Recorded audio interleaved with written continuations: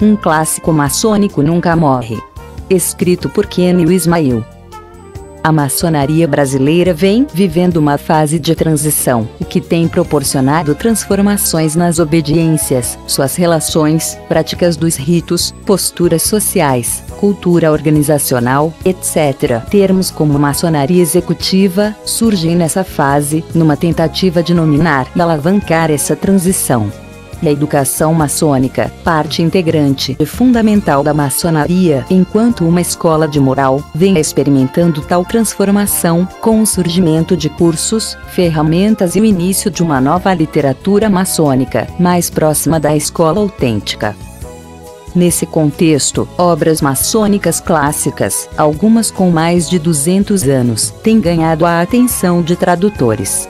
Entre elas, podemos citar Maçonaria Dissecada, de Samuel Pritchard, Constituição de Anderson, de James Anderson, Ayman Rezon, de Lawrence Dermott, Esclarecimentos de Maçonaria, de William Preston, O Monitor dos Franco-Maçons, de Thomas Smith Ware, Moral e Dogma, de Albert Pike, algumas obras de Albert McKay, dentre outras. Eu mesmo dediquei-me a traduzir e comentar uma dessas obras clássicas, no caso a Riemann Rezon. Mas, considerando o histórico maçônico brasileiro de casos claros de endeusamento e fanatismo com clássicos e seus autores, o que sugere que bom senso e senso crítico não são itens que já vêm de fábrica em todos os irmãos, faz-se necessário expor um alerta.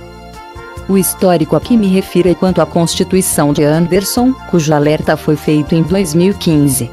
Apenas alguns anos depois do lançamento de sua segunda edição, ainda no século XVIII, a então grande loja da Inglaterra necessitou e realizou a promulgação de uma nova Constituição, sem qualquer participação de Anderson. Já são mais de 250 anos que a Constituição de Anderson, por aberrações em seu conteúdo, não é mais adotada. Entretanto, não é raro deparar-se com uma legislação maçônica brasileira que declara aceitar sem reservas a Constituição de Anderson, mesmo havendo vários pontos de conflito entre a mesma e sua própria legislação. Não bastasse, cobra submissão à Constituição de Anderson em certos juramentos.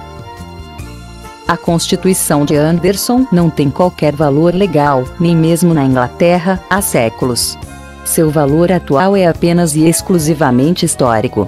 O mesmo ocorre com a Constituição dos Antigos, a Rezon, que tive o prazer de traduzir e comentar. Ninguém deve segui-la, muito menos jurar segui-la.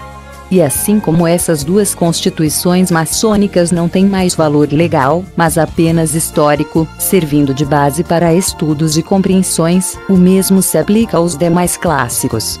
Autores como Preston e V, do século XVIII, foram retificados por autores como Maclay e Pike, no século XIX. Estes foram retificados por outros como Coelho Wills, no século XX. E esses, com certeza, serão retificados por novos autores neste século XXI. Trata-se da ordem natural das coisas, Pegando a medicina como exemplo, não há comparação entre um livro de anatomia do século XVIII e um do século XX. Houve uma série de avanços, descobertas e novas compreensões, reduzindo muito do achismo, crendices e romantismo que permeavam a medicina no século XVIII. O livro de anatomia do século XVIII é um clássico, uma referência antiga para fins de compreensão da evolução histórica da medicina, um marco a ser lembrado e respeitado mas não deve servir de base de estudos para um estudante de medicina. Seu conteúdo não pode ser levado como uma verdade absoluta e imutável por qualquer estudante ou profissional da área. E o mesmo ocorre com os clássicos maçônicos. A Constituição de Anderson não é uma lei válida, muito menos um princípio de regularidade. Moral e dogma não é a visão oficial do Supremo Conselho Mãe do Mundo, muito menos a Bíblia do rito escocês. Os landmarks de Mackay não são adotados pela maioria das obediências regulares do mundo, muito menos são universais. Nenhuma obra desses autores é palavra final sobre esses assuntos, mas apenas as primeiras relevantes, e por serem as primeiras, são clássicas.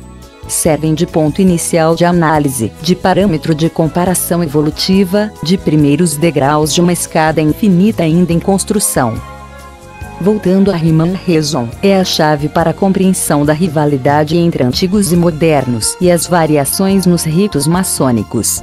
Mas se alguém a ler sem ler e estudar Anderson, Preston, antigos e modernos, e os ritos maçônicos atuais, nada compreenderá ou tirará de útil. A leitura de uma obra clássica sem o acompanhamento de outras obras, inclusive mais atuais, é como um ponto solitário, que não forma uma linha, muito menos um sólido. E é a solidez que se espera na construção do pensamento maçônico. Um clássico nunca morre. Então não morra nele.